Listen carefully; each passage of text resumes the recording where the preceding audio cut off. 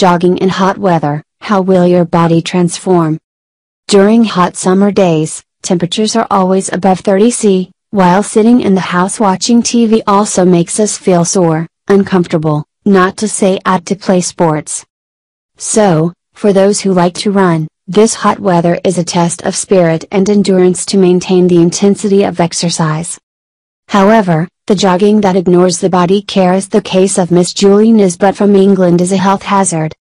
Julie's legs were blistered, sunburned for 21 hours on the road.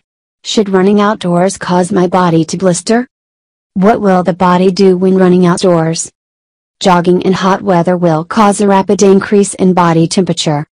Our body works well when the temperature is always maintained at 37 C, so to keep the body temperature cool before high temperatures, the body's first reaction to releasing body heat is to sweat. To help speed sweat, the blood vessels in the body begin to dilate allowing blood to flow to the skin surface more. That is why when running in hot weather, our bodies will be red and blood vessels can be observed more clearly. Usually, people will spend 1 liter of sweat per hour when exercising under high environmental temperatures. Some people sweat, this number can be up to 4 liters. Losing sweat means your body is dehydrated. The problem is that the amount of blood delivered to the skin surface for sweating is not enough. So sweating when running in a high temperature environment makes you tired and even exhausted if you do not get enough water.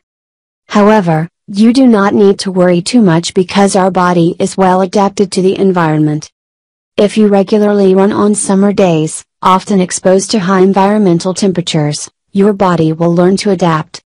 Body adaptation includes sweating, blood loss, electrolyte depletion, including salt and important mineral salts, in sweat. In addition, to help the body to adapt more quickly with the body active in the hot sun. And to answer the question of whether outdoor jogging is as blistering as the case of Miss Julie might be, if you do not have enough clothing or a full sunscreen. Keep in mind that running continuously outdoors, especially during extreme heat, UV rays penetrate the body, causing skin damage, sunburn and blistering. Therefore, you should note the following points when you want to exercise outdoors. 1. Choose the right time of the day to run. When daytime temperatures rise, select the time at which the temperature is at its lowest. The best time for jogging is in the early morning or evening, absolutely avoid running outdoors at 10 a.m. to 4 p.m. because this is the hottest time of the summer. 2. Always have enough water. Sweating causes the body to become tired, even exhausted due to dehydration, so add water before, during and after running. For every 20 minutes, drink about 150 to 200 milliliters. If possible, add water to electrolytes to compensate the body. In addition, you need to utilize water to cool your head and body. 3. Slow down and walk together. You should consider reducing the intensity of heavy exercise on hot days. Run as fast as possible instead of running at target speed. Every 2-3 degrees difference can make you run slowly from 10-20 seconds, 1 kilometer. Listen to your body and do not overexert yourself. Besides, combine with walking in the practice session.